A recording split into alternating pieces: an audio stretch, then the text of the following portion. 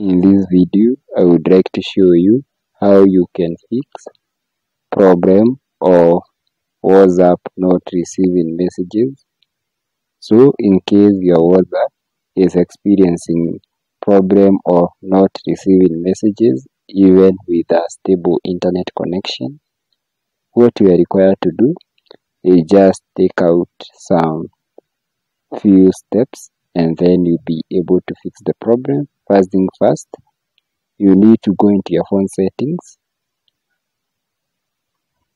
After getting into your phone settings, you need to come to where we have apps and notifications.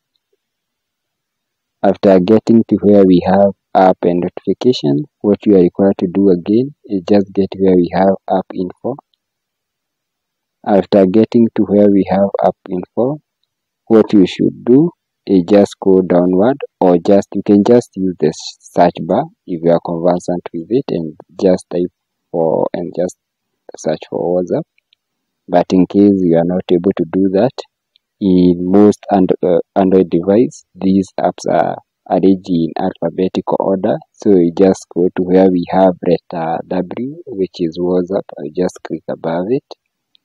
Then you can try and you can you know you need to come to where we have storage and coach. So you can try to clear some coach and then you can do a quick restart of your phone and open again and see if the message will now start behaving. But if the problem persists and now you shall not have any other solution. But this i think this one will be a lesser evil idea. You just need to clear the storage so what you just need to do is just ensure you have a backup or WhatsApp backup. You just click OK and now you be logged out of your account simply. Like it will seem like you have uninstalled your WhatsApp and then log in again. But before carrying carrying out this process, for now deleting, you need to come into your WhatsApp, then click this three dotted icon, then get into your phone settings, then you need to come to where we have to where we have to where we have storage and data. No? You need to come to where we have charts. then scroll downward to i'm sorry i'm sorry. I made a mistake.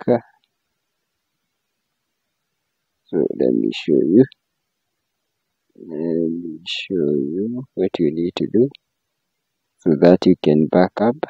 So I have I have spent a lot of time with that now yes you need to come to where we have chats then come to where we have chats backup and then you need to first back up your chats in WhatsApp before carrying out that step or deleting your database in WhatsApp and after doing that you back up all the important messages but to ensure you are safe you can just try and extract or transfer those this data into another phone before carrying out the process. But i think whatsapp will do a pretty good job because it is backupping it in cloud which is much reliable so basically thank you for watching. Please don't forget to give the video a thumb up and also subscription so that will not miss out any of our future ROI content like this. Thank you and bon appetit